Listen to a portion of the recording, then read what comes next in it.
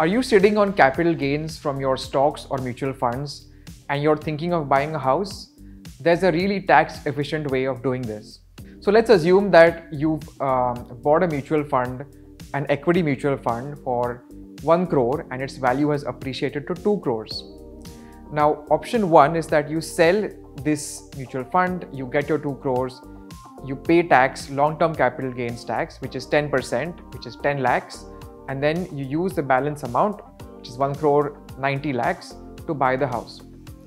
Second, more tax efficient option is that you use um, this 2 crores as a deduction under section 54F. So again, you sell your mutual fund, but you claim a deduction for reinvesting the sales proceeds in a house under section 54F and you no longer have to pay capital gains tax. Amazing, isn't it? So you can get the benefit of Section 54 in um, stocks or mutual funds which you have held for more than one year. That is when they become long-term capital gains. Or you can claim it for debt mutual funds which you have bought before 31st, uh, before 1st April 2023 and which you have held for at least three years. Uh, for them as well, you can get the benefit of Section 54. You can't get it for things like bank FD interest or um, debt mutual funds that you bought after 1st April 2023. Um, but for assets where you can claim this benefit, it has uh, it can save you a lot of capital gains tax. Now there are a couple of conditions that you need to meet in order to get the benefit of this section. So number one, you have to buy the house either within two years of selling the shares or mutual fund or you have to have bought it at least you have to have bought it uh, for a maximum of one year before.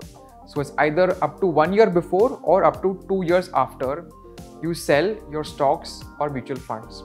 If you are constructing a house then you have to construct the house within three years of um, selling the stock or mutual fund a lot of people wonder if you can get this for land the answer is yes, but you have to build a house on it. Uh, the land needs to be part of your house building process. Um, the second condition that you need to satisfy is that at the time of selling your stocks or mutual funds, you can't be owning two houses or more than two houses. So if you have one house, that's fine.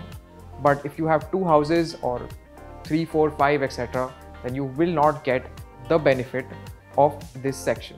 One more condition that applies is that you cannot sell the new house within three years of purchase. Think of this um, in SIP format, right? A humble 50,000 rupees a month SIP can translate into a 1 crore dream house. How?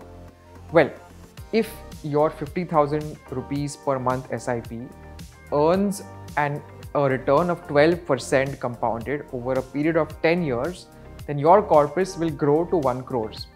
You can utilize this corpus to buy the house and claim the benefit of section 54F and you don't even then have to pay long-term capital gains tax on the gains on that SIP. Another uh, amazing in tax reduction that is available to you.